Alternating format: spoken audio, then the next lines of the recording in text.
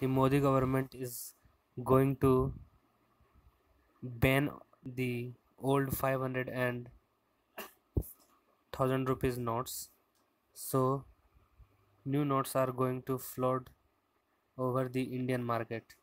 So 500 and 1000 500 and 2000 notes are new uh, type of notes are going to float in the Indian market.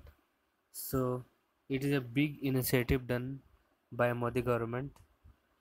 So what changes does it do in the market?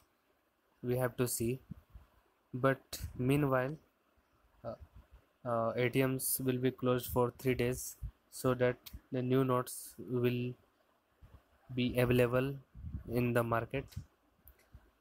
So the old notes can be exchanged in the post office and banks by showing your id cards.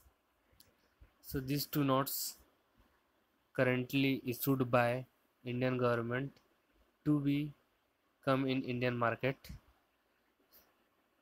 So this initiative is done to stop the black money and the uh, fake notes coming to the market.